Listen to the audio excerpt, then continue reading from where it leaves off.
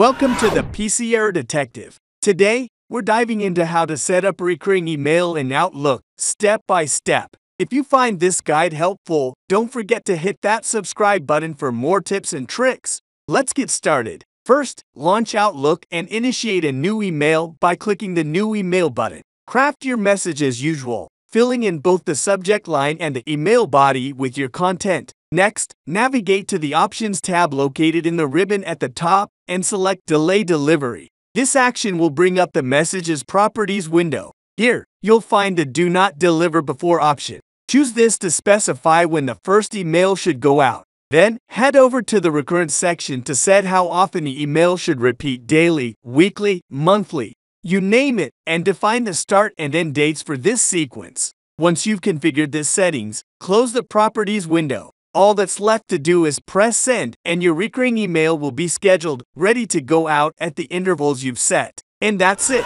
Thank you for watching and see you in the next video.